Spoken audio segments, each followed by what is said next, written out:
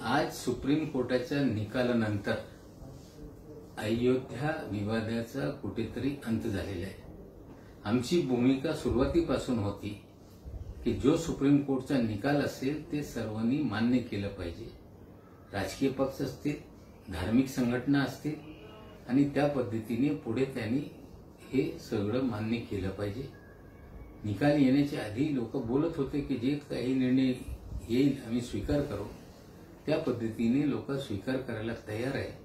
पण लोकांनी याच्या श्रेय घेऊ नये कुठेतरी उत्साह साजरा करू नये कुणाची भावना दुखवू नये ही भूमिका लोकांनी स्वीकारली पाहिजे. आणि आम्हाला आशा आहे की यापुढे या देशामध्ये कुठलेही संघटन किंवा राजकीय पक्षाच्या माध्यमातून धर्माच्या नावाने नवीन विवाद या देशामध्ये निर्माण होणार नाही हे कुठेतरी लोकांनी त्या पद्धतीने पुढे केलं पाहिजे. आणि जे काही निकाल आलेला आहे तो ऐतिहासिक आहे. आमची भूमिका जी सुरुवातीला होती ते आज पण आमची भूमिका स्पष्ट आहे.